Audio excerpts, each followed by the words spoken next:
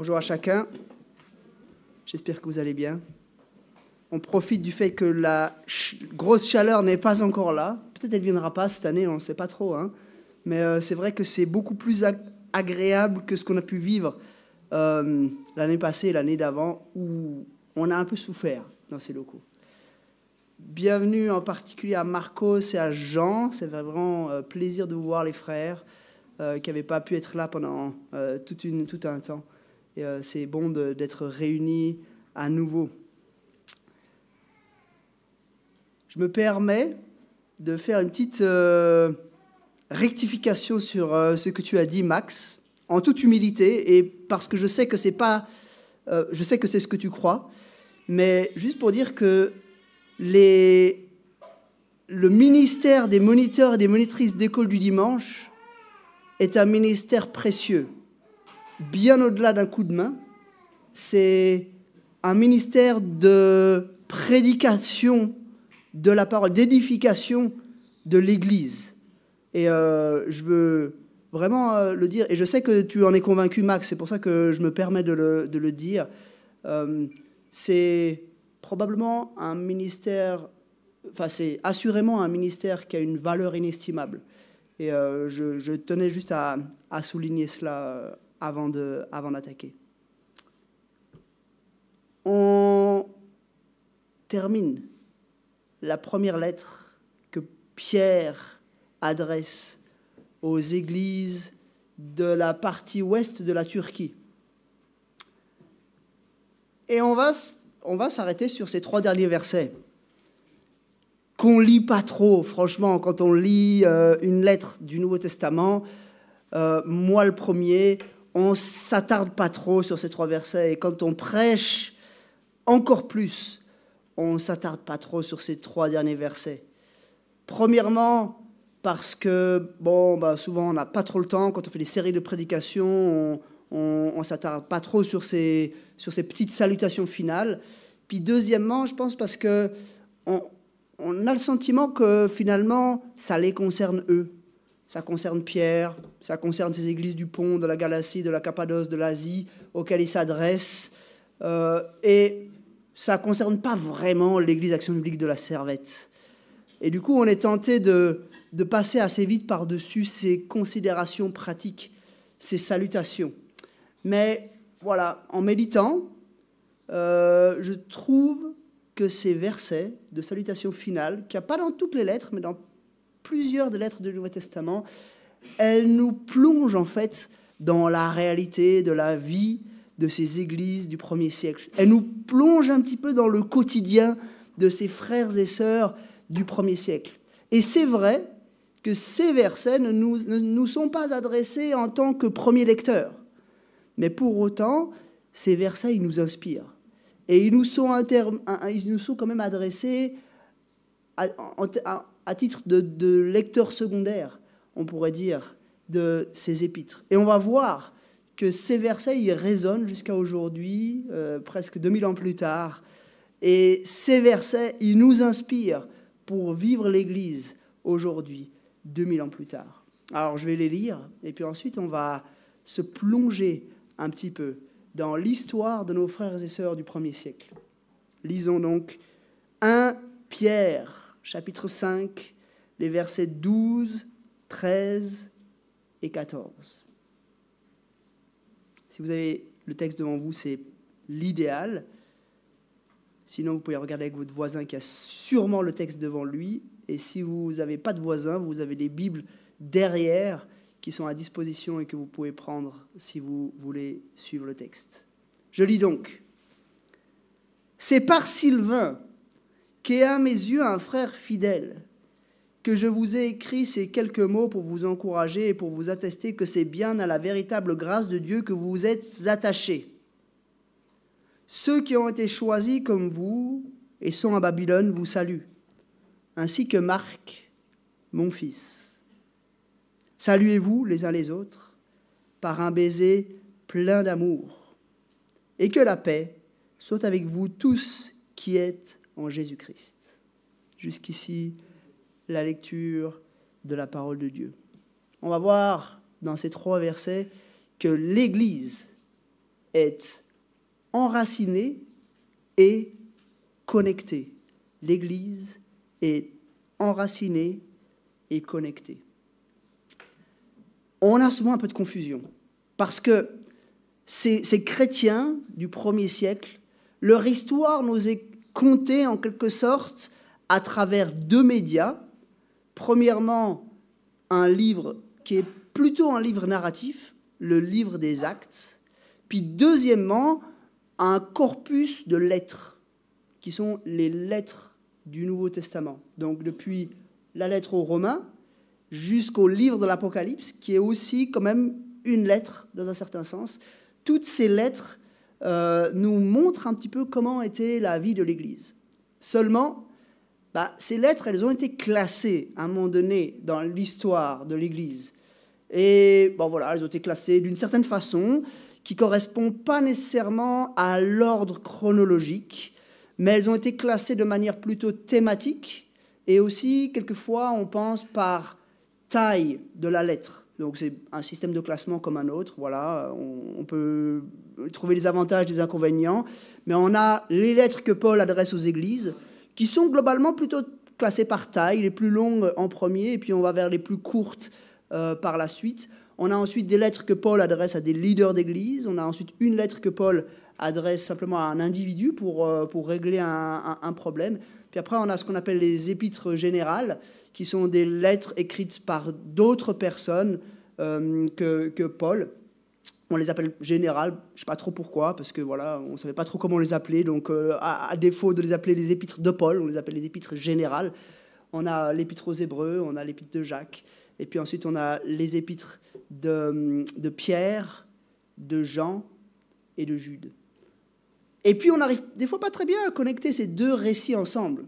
On n'arrive des fois pas très bien à se dire, ok, dans la trame du livre des actes, dans l'histoire de ces chrétiens du premier siècle, comment est-ce que s'articule, enfin, à quel moment arrivent toutes ces lettres? Et c'est l'exercice que qu'on va essayer de faire maintenant ensemble pour bien comprendre ces derniers versets en fait de l'épître de Pierre. Parfois, on a un peu l'impression, parce que des fois, je pense qu'on on calque nos attitudes de chrétiens du XXIe siècle aux attitudes de nos frères et sœurs du premier siècle, euh, on a un peu l'impression que les, les grandes figures, surtout Pierre, Jean, Paul, qui sont un petit peu les, trois qu'on connaît le mieux, ils étaient, un peu des, ils étaient un peu en compétition les uns avec les autres. Ils n'arrivaient pas trop à s'entendre. Et c'est vrai qu'ici et là, il y a des fois des, des, des, désaccords entre eux. On a aussi parfois un petit peu l'impression, et ça particulièrement dans les milieux académiques qui font de la recherche en théologie, que les églises étaient très isolées. Et puis finalement, il y avait des églises qui s'attachaient à Jean, puis des églises qui s'attachaient à Paul, puis des églises qui s'attachaient à Pierre. Et puis finalement, il y a eu comme des, théologies différentes qui se seraient développées dans ces différentes églises. Ces versets nous montrent, au contraire, je crois, des églises extrêmement connectées. Une vie euh, des, chrétiens du premier siècle tout autour de la Méditerranée et même au-delà, euh, qui était voilà, une, vie très riche, où il y avait plein d'échanges, il y avait des gens qui passaient d'une église à l'autre, il y avait de la communication, et en fait les gens se connaissaient.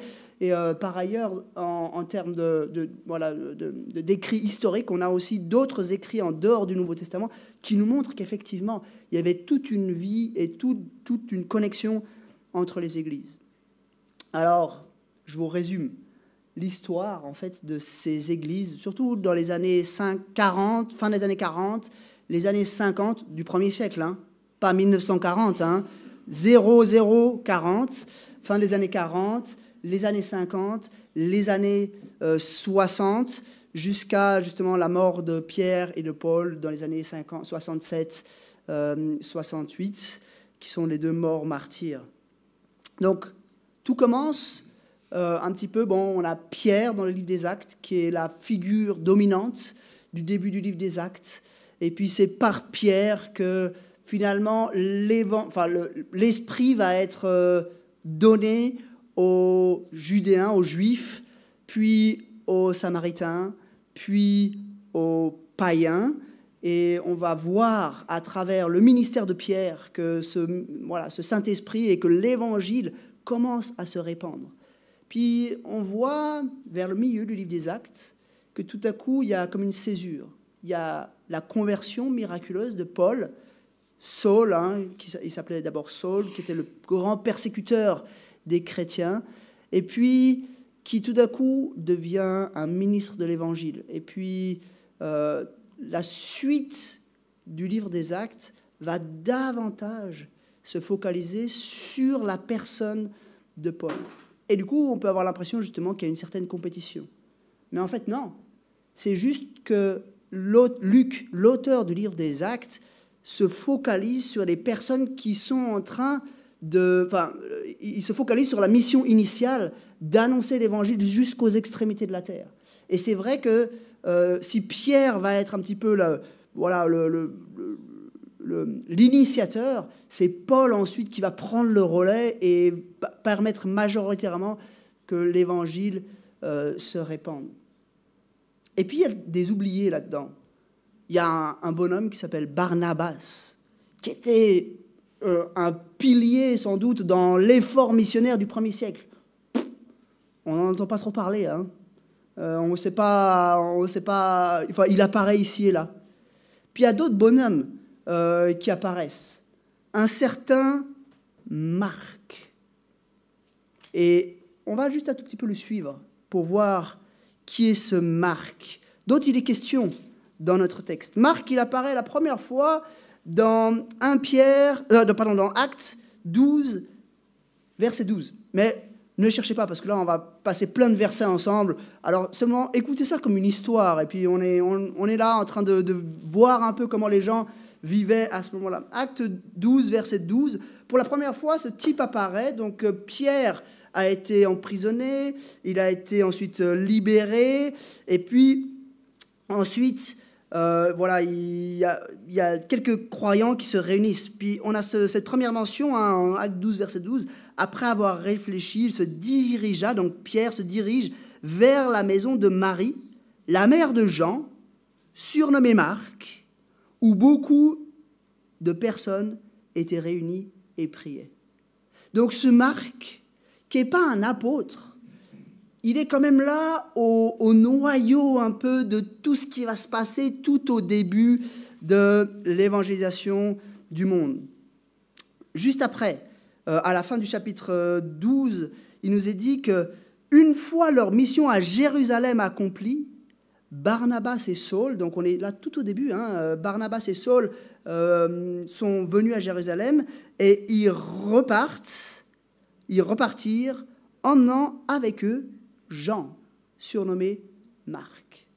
Donc on a ce type, Marc, qui fait partie en fait de la, de la toute première équipe missionnaire. Il va partir avec Paul et Barnabas et ils vont être ce, premier noyau en fait qui va partir avec une vraie logique missionnaire. Jusqu'ici, c'est vrai que l'évangile s'est déjà répandu, mais il s'est répandu essentiellement à cause de la persécution qui a fait que les chrétiens ont dû partir en d'autres régions. Et puis un peu malgré eux, ben, il, s'avère que des églises s'implantent. Il y a eu Antioche qui s'est euh, qui s'est implanté, il y a eu des églises dans d'autres dans d'autres villes. Mais là, pour la première fois, on a une vraie logique missionnaire intentionnelle qui se met en place. Seulement, pendant ce premier voyage missionnaire, il va y avoir un problème. Euh, acte 13, verset 13 nous dit que Paul et ses compagnons embarquèrent à Paphos pour se rendre à Perge en Pamphylie, mais Jean, donc c'est de nouveau Marc, hein, vous vous souvenez, hein, mais Jean se sépara d'eux et retourna à Jérusalem. Donc Jean les quitte pendant le premier voyage missionnaire. Et franchement, on ne sait pas trop pourquoi. Mais voilà, il, est parti. Et, euh, et le premier voyage va se passer c'est-à-dire qu'ils vont évangéliser un peu le, centre de la Turquie, là. Ils vont implanter des églises à Derbé, à Lystre, à Iconium. Euh, ils vont passer dans plusieurs villes comme euh, Antioche, l'autre Antioche, hein, Antioche de, de, Pisidie. Et puis ils vont revenir à leur port d'attache, à savoir Antioche, Antioche de Syrie, au nord de Jérusalem. Et depuis Antioche de Syrie, ils vont préparer un deuxième grand voyage missionnaire. Seulement, il va y avoir une tension qui s'installe, qui est bien connue, hein, peut-être vous avez déjà entendu parler de cela. Euh, au moment de repartir pour le deuxième voyage missionnaire, Paul et Barnabas sont pas d'accord, parce que Barnabas, il aimerait reprendre Marc avec eux, alors que Paul dit non, Marc, en fait, il, a, il, s'est détourné de notre mission. Il nous a lâchés pendant le, premier voyage missionnaire. Moi, j'ai pas envie de le prendre. Donc, c'est au chapitre 16, acte, euh, pardon, acte 15, versets 37, 38, 39. Je lis seulement ces trois versets. Barnabas voulait, aussi, voulait, aussi, voulait emmener aussi Jean, surnommé Marc, mais Paul estimait qu'il ne fallait pas prendre avec, ne pas, euh, qu'il ne fallait pas prendre avec eux celui qui les avait quittés depuis la Pamphylie et ne les avait pas accompagnés dans leur, dans leur tâche. Ce, désaccord fut assez vite, vif pour qu'ils se séparent l'un de l'autre. Mais Barnabas, euh, pardon, Barnabas prit Marc avec lui, embarqua pour l'île de Chypre. Paul choisit, et là on a un autre bonhomme qui arrive dans, dans la boucle, Paul choisit Silas et partit confié par des frères à la grâce du Seigneur. Il traversa la Syrie et la Cilicie en fortifiant les églises. Donc on a une séparation de Paul avec Marc pendant, la deuxième, pendant le deuxième voyage missionnaire. Et là, il va y avoir du coup deux équipes. Et voilà, malgré l'échec apparent de cette, de cette désunion, de ce désaccord, ben, l'avantage, ça va être qu'il va y avoir du coup deux équipes, Barnabas, Marc d'un côté, Paul euh, et Silas de l'autre côté. On reviendra tout à l'heure sur Silas, mais je pense que ce qui est juste important de, signaler par rapport à Marc, toujours, pour se focaliser sur ce personnage, donc là, on est dans les années... Euh, euh, le premier voyage missionnaire, c'est la fin des années 40, 48, 49, par là.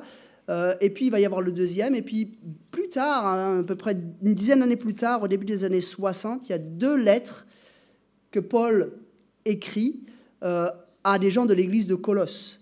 Euh, il écrit l'épître aux Colossiens et puis il écrit Philémon.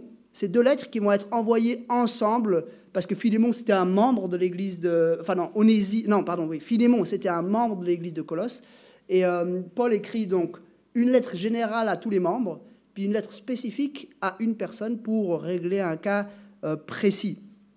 Mais dans ces deux euh, lettres, euh, Marc réapparaît. Et c'est intéressant de voir que, voilà, 10 ans, 12 ans plus tard à peu près, Marc est de nouveau là. il est mentionné dans Colossiens 4, verset 10. Aristarque, mon compagnon de détention, vous salue, ainsi que Marc. Et là, on apprend quelque chose sur Marc le cousin de Barnabas, au sujet duquel vous avez reçu des instructions. Il vient chez vous, faites-lui bon accueil. Donc tout d'un coup, les choses s'éclairent un tout petit peu. On comprend peut-être pourquoi Barnabas avait voulu euh, reprendre Marc avec lui, ils étaient manifestement de la même famille. Puis on comprend aussi que, bah, d'une manière ou d'une autre, les, relations se sont rétablies. Pendant cette décennie, euh, on voit que euh, Paul a de nouveau Marc dans son équipe avec lui.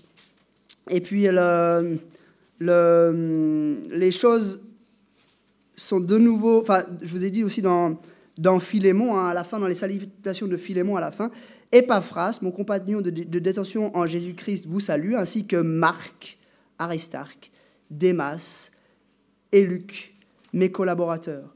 Donc on voit que euh, Marc est de nouveau dans l'équipe avec euh, Paul. Et peut-être l'élément le plus touchant, c'est dans la toute dernière lettre de Paul, donc de Timothée, qui est une lettre où il y a beaucoup d'émotions parce que Paul sait que c'est la fin. C'est plus les, comme Colossiens, Philémon, on les appelle les, épîtres de la, de la, de la détention.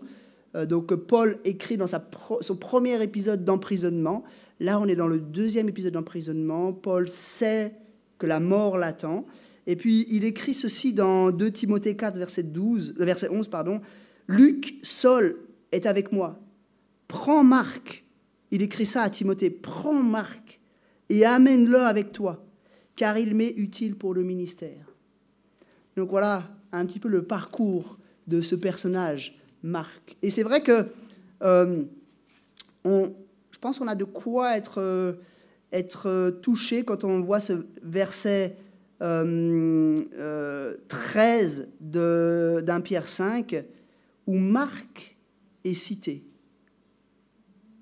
On va revenir sur le texte, mais pour l'instant, on plante simplement le décor. Marc, c'est le premier personnage, chronologiquement, qu'il fallait euh, bien connaître pour comprendre notre texte.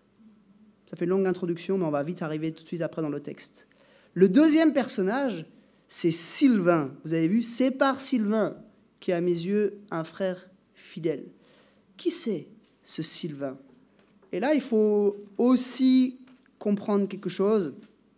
Et là, il faut un peu, euh, un tout petit peu euh, tricoter pour comprendre qui est Sylvain. Sylvain, il apparaît en fait aussi dans le livre des actes. Seulement, si vous cherchez dans une concordance, vous verrez que le mot Sylvain n'apparaît jamais dans le livre des actes. Il faut passer par une autre lettre, de Corinthiens 1, verset 19, où Sylvain apparaît, et je vous lis juste ce verset.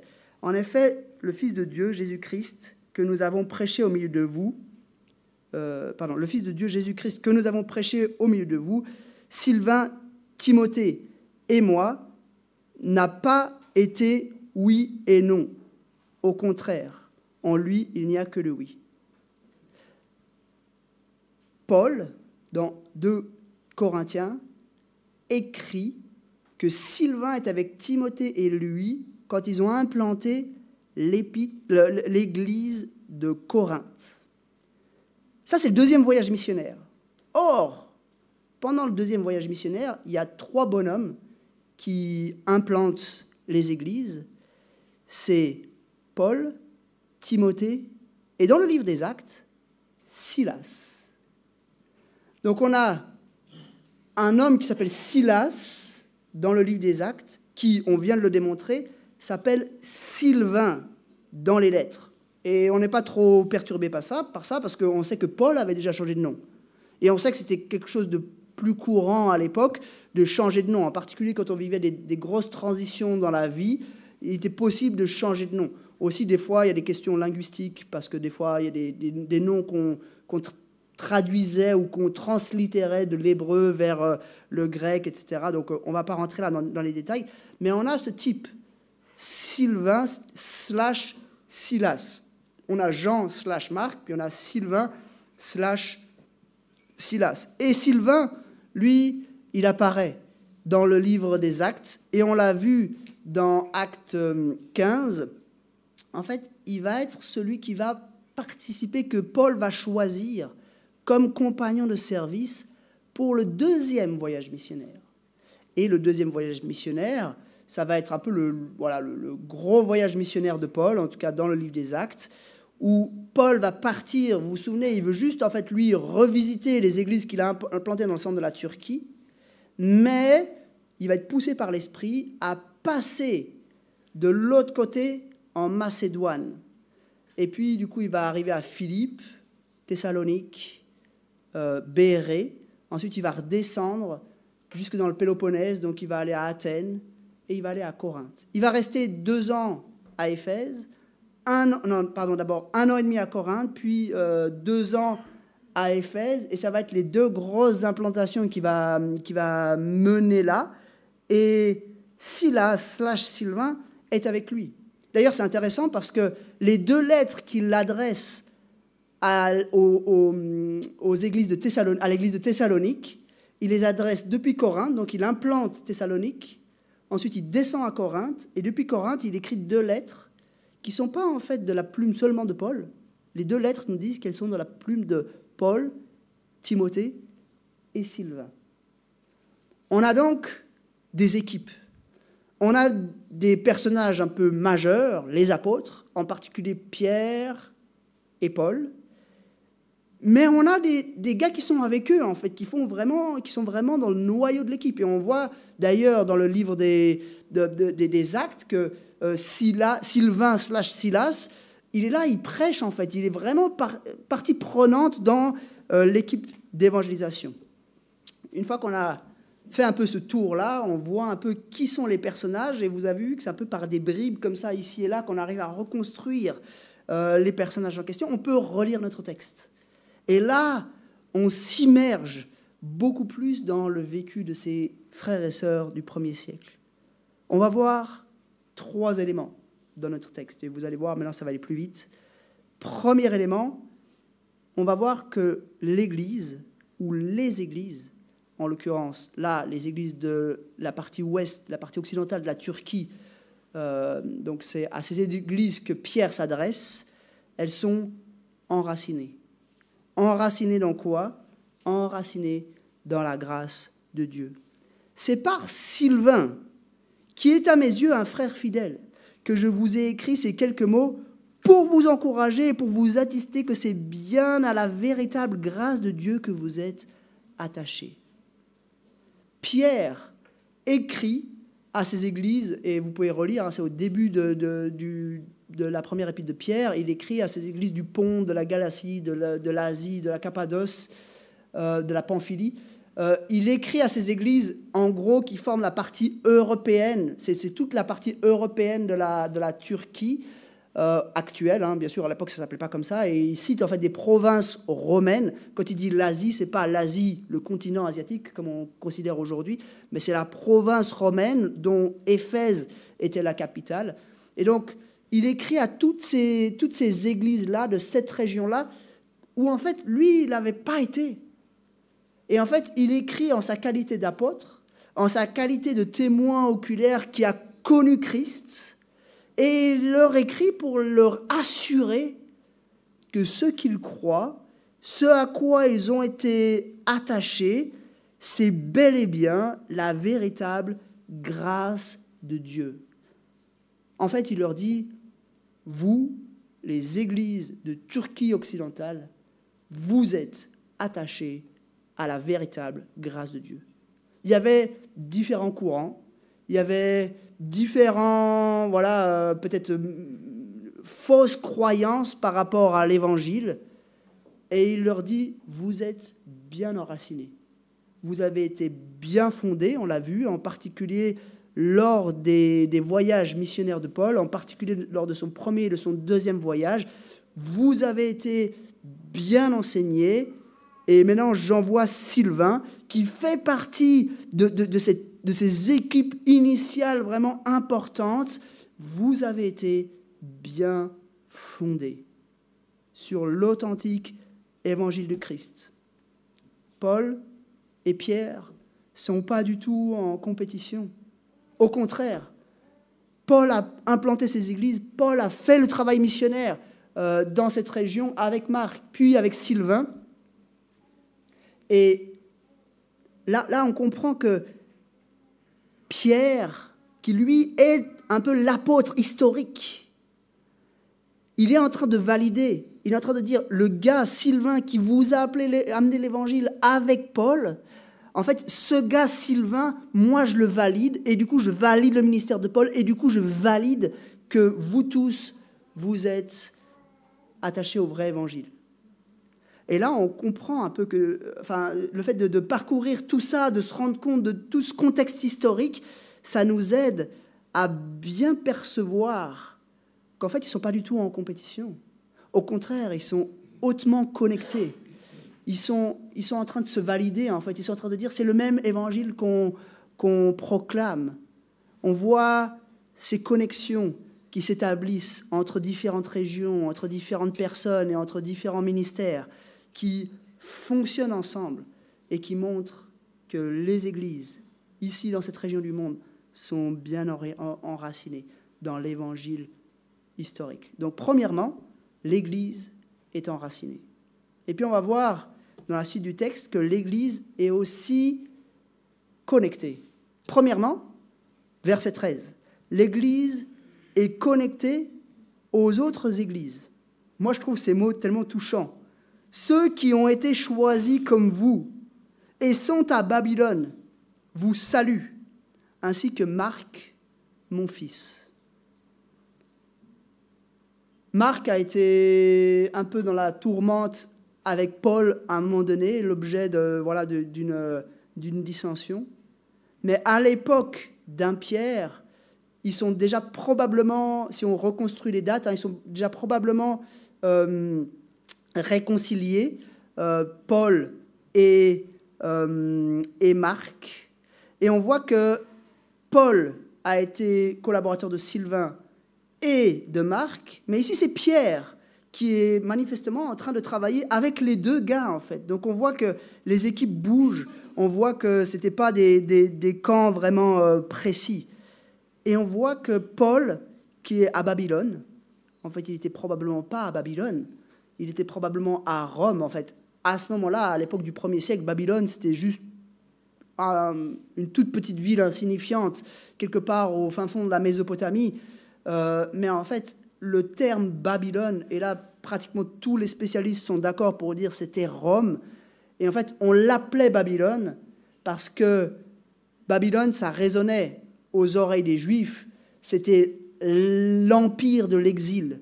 C'était le grand empire, quelques siècles plus tôt, euh, qui avait emmené tous les Juifs en exil en Mésopotamie. Et du coup, c'était l'empire fort qui avait, été, qui avait assujetti les Juifs.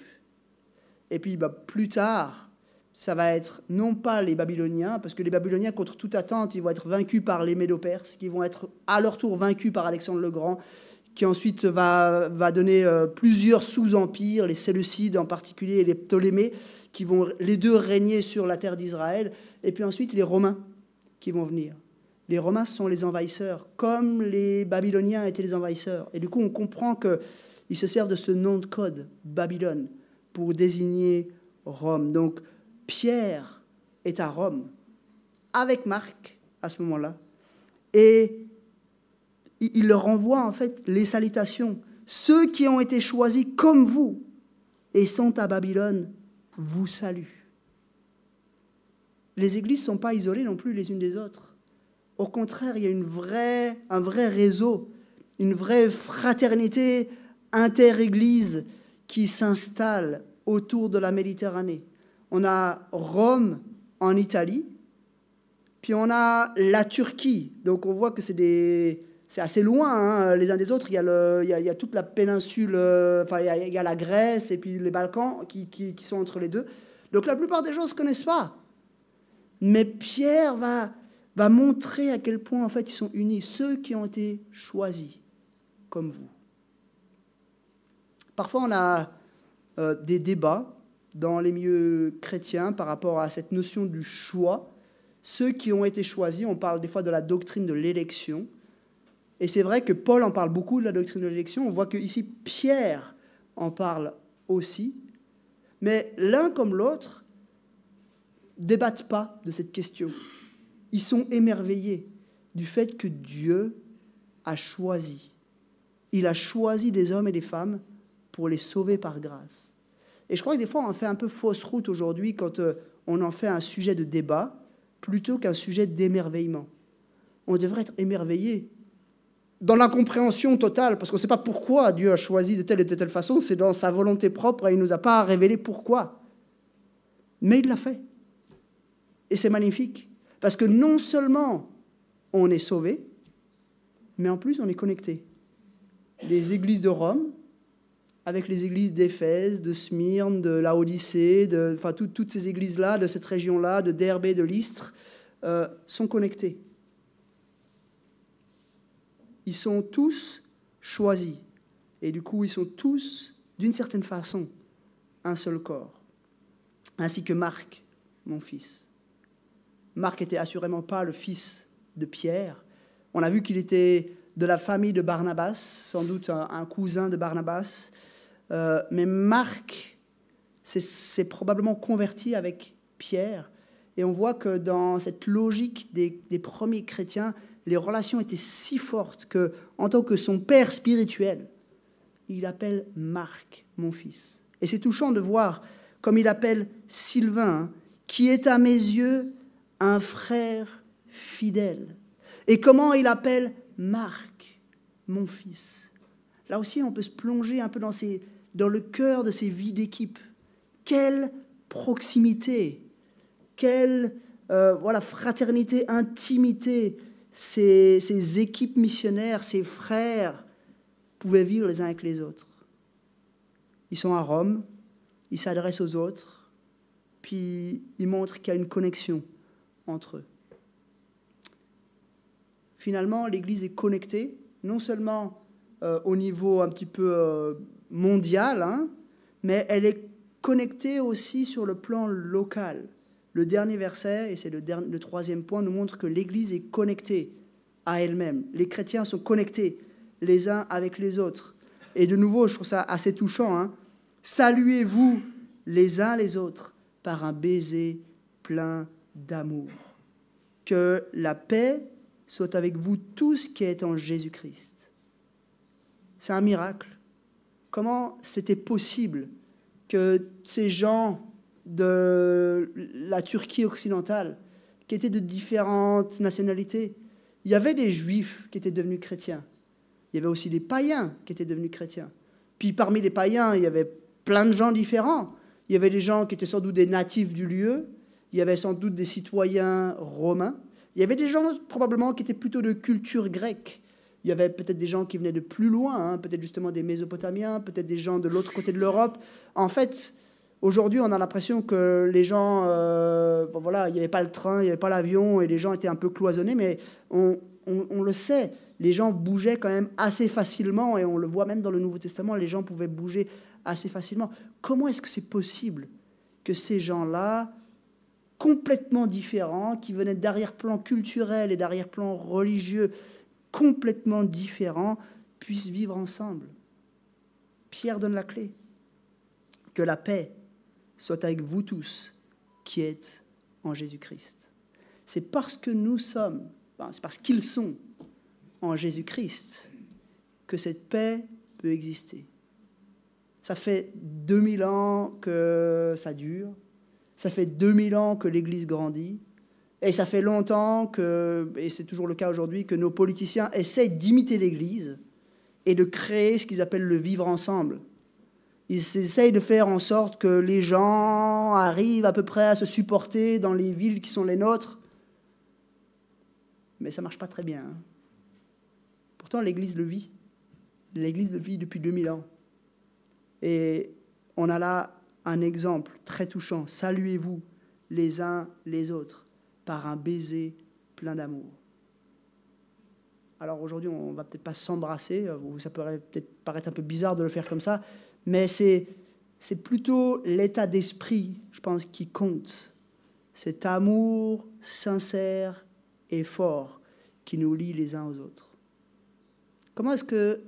Alors, comme j'ai dit, hein, Pierre s'adresse à ces églises, à ces églises de Turquie occidentale. Il s'adresse par Sylvain, il transmet des salutations de la part de Marc. Et ça ne nous concerne pas mais en fait, ça nous concerne quand même. Ça nous concerne quand même, et je crois que c'est tellement inspirant de voir la vie de nos prédécesseurs, de voir la vie de nos frères et sœurs, comment ils vivaient au premier siècle. Et j'aimerais qu'on se laisse un tout petit peu inspirer par eux. Premier, premier élément. Est-ce qu'on est bien enraciné?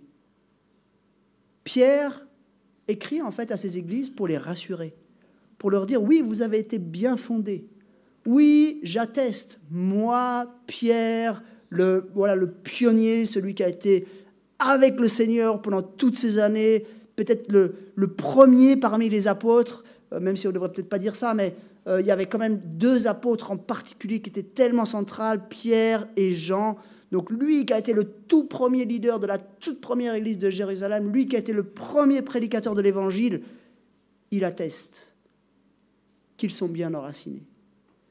Alors aujourd'hui, Pierre peut plus attester, euh, oui, vous, les membres de l'église de la Servette, vous êtes bien enracinés dans l'évangile authentique. Il peut plus le faire, lui il est mort, il n'est plus là. Mais ces hommes nous ont laissé les écrits. Et en fait, c'est en revenant constamment à ces écrits, les écrits du Nouveau Testament, que nous pouvons nous évaluer et voir si nous sommes bien enracinés. Est-ce que, et c'est une question permanente que nous devons nous poser en tant qu'Église locale, pas juste les anciens, pas juste les responsables des associations d'église, mais je crois que c'est de notre ressort à tous de nous poser la question, est-ce que nous sommes, en tant qu'Église Action Biblique de la Servette, bien enracinés Est-ce que nous sommes fidèles à l'Évangile authentique, tel qu'il nous a été transmis par les apôtres? Tout à l'heure, pendant le temps de prière, il a été affiché ce fameux verset de Acte 2, 42, une partie. Hein, il persévérait, trois petits points, dans la prière. Et entre deux, dans les trois petits points, il y a ça. Hein, il persévérait dans l'enseignement des apôtres. Les apôtres sont plus là, mais leur enseignement est encore là. Tout ce qui est nécessaire à notre enracinement nous a été donné. On a les 27 livres du Nouveau Testament, eux-mêmes fondés sur les 39 livres de l'Ancien Testament, qui servent à notre enracinement, à notre fondation.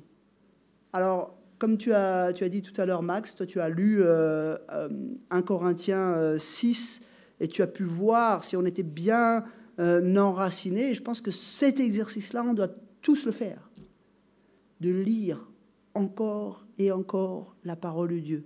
En se demandant premièrement personnellement et deuxièmement en tant qu'Église, est-ce que nous sommes bien attachés à la véritable grâce de Dieu? Parfois c'est plus subtil, subtil qu'il n'y paraît. Parfois, on peut se tromper sur des petites nuances. Est-ce que je remplace l'authentique, la véritable grâce de Dieu par d'autres choses? Pas forcément des choses mauvaises, mais peut-être que je place les, valeurs chrétiennes au-dessus de l'authentique, de la véritable grâce de Dieu. Peut-être que je place mon obéissance au-dessus de l'authentique grâce de Dieu ma tradition d'église, même si euh, nous les évangéliques on dit toujours qu'on n'a pas de tradition, en fait on en a une. Euh, ma tradition d'église, la manière dont nous faisons les choses au-dessus de l'authentique grâce de Dieu. Ces choses-là ne sont pas mauvaises. Les valeurs chrétiennes, l'obéissance, la tradition, ce pas des choses qui sont mauvaises. Mais avant tout, ce que Pierre nous encourage, à nous attacher à la véritable grâce de Dieu. Deuxième chose, est-ce que nous sommes connectés? Est-ce que nous sommes connectés avec nos frères et sœurs dans le monde? Est-ce que nous sommes conscients que parce que le Seigneur nous a sauvés, parce qu'il nous a choisis qu'il nous a sauvés, on est presque dans notre ADN lié aux frères et sœurs à travers le monde. On les appelle nos frères et sœurs et ce n'est pas pour rien on a un même père et on a un même héritage. Et du coup, on est lié. On est lié avec les autres églises qui sont autour de nous, ici à Genève. En tout cas, les églises authentiques. Parce qu'il y a un certain nombre d'églises, malheureusement, qui n'enseignent plus l'évangile authentique. Mais il y en a, et il y en a plusieurs, qui enseignent l'évangile authentique. Et il faut parfois faire preuve de discernement euh, pour bien comprendre certaines de ces églises qui peut-être vivent la foi de manière un peu différente, mais enseignent malgré tout l'évangile authentique, et d'autres qui n'enseignent plus l'évangile authentique, et du coup qui sont plus des églises authentiques de Christ.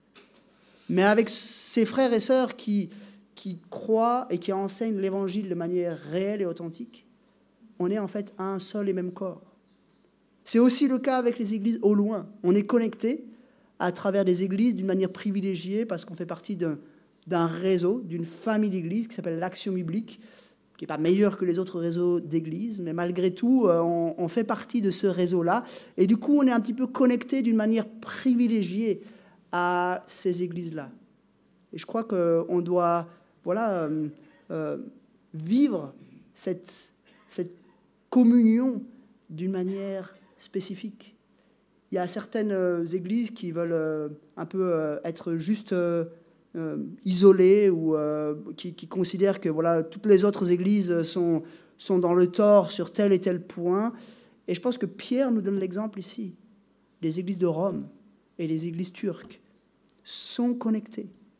Et nous, nous sommes connectés de manière privilégiée avec les églises de notre réseau, mais de manière générale avec toutes les églises authentiques dans le monde.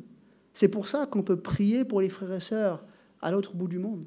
C'est pour ça qu'on peut soutenir parfois des frères et sœurs qui sont en train d'œuvrer à l'autre bout du monde. C'est pour ça que on peut aller en visite à l'autre bout du monde et être accueilli par des frères et sœurs d'une manière un peu surnaturelle. Et euh, nous, nous en avons fait l'expérience à plusieurs reprises.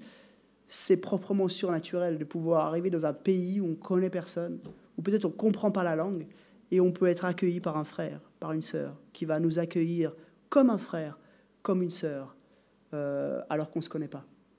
Ça, c'est un, un, miracle euh, qu'on peut, voilà, qu'on peut vivre. Alors on doit se poser la question, est-ce qu'on vit connecté avec les autres, comme ces églises du premier siècle? J'ai lu un livre il y a quelques, il y a quelques mois en arrière sur euh, la vie des chrétiens du premier siècle. Et l'auteur de ce livre, euh, il, cite des écrits non bibliques, même non chrétiens, euh, je pense du, deuxième siècle. Et c'est à un moment donné où Irénée de Lyon est emmené par des soldats, je pense c'est Irénée de Lyon, maintenant ma mémoire fait défaut, mais je pense c'était Irénée de Lyon, qui est emmené captif par des troupes romaines pour aller à Rome. Et en fait, les gars, ils hallucinent. Les Romains, les, les soldats romains, ils hallucinent parce qu'à chaque bled où ils s'arrêtent, il y a des frères et des sœurs qui viennent, puis qui savent que c'est Irénée, euh, l'évêque de Lyon, qui est, qui est en train d'être emmené captif. Donc ils, viennent, ils leur amènent à manger, ils les accueillent chez eux et tout ça. Et les soldats romains, ils disent, mais c'est quoi ce truc? C'est un truc de fou, quoi. Et, euh, et, voilà un peu le genre de choses que nous pourrions vivre aujourd'hui, si on vit bien, que nous pouvons vivre aujourd'hui, si nous vivons bien cette connexion entre les églises. Puis finalement, est-ce que nous sommes connectés les uns avec les autres? Saluez-vous par un baiser plein d'amour. Je ne vais pas vous demander de vous saluer par un baiser plein d'amour, mais est-ce qu'on manifeste cet état d'esprit les uns avec les autres?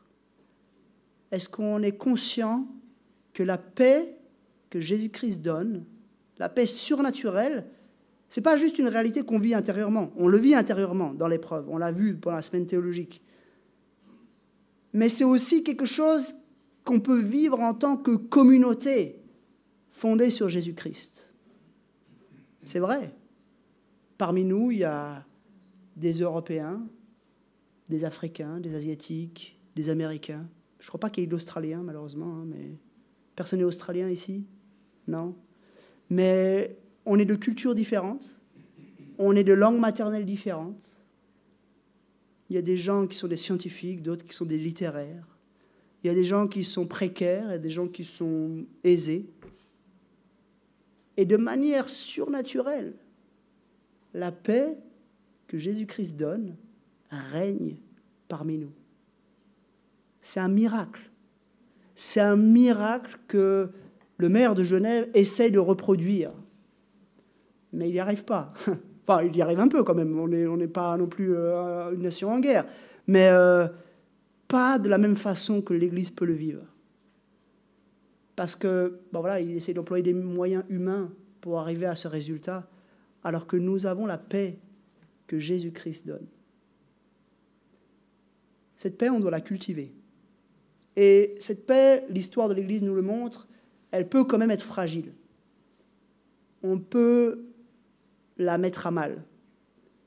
Et du coup, je crois qu'on on doit tous s'impliquer dans cette vie de l'Évangile les uns avec les autres.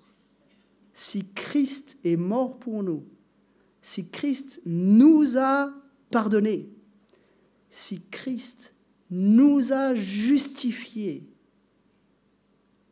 alors je crois que on doit, nous aussi, vivre ces choses. S'il nous a pardonné, nous devons pardonner. S'il nous a pardonné, nous devons être prêts à demander pardon. S'il nous a justifiés, nous devons considérer que notre frère, notre sœur est justifié. S'il nous a adoptés, nous devons considérer notre frère, notre sœur comme d'authentiques frères et sœurs en Christ. Alors, petit devoir pratique pour la semaine. Prenons le temps d'approfondir ces relations. Prenons le temps de nous saluer les uns les autres par un baiser plein d'amour. Peut-être juste après le culte. Prenons le temps d'échanger les uns avec les autres, de manifester cette paix que Jésus-Christ donne, de réaliser que nous avons un seul Père, de réaliser que nous avons le même esprit, de réaliser que nous sommes au bénéfice de la même grâce de Dieu, de réaliser que nous passerons l'éternité ensemble.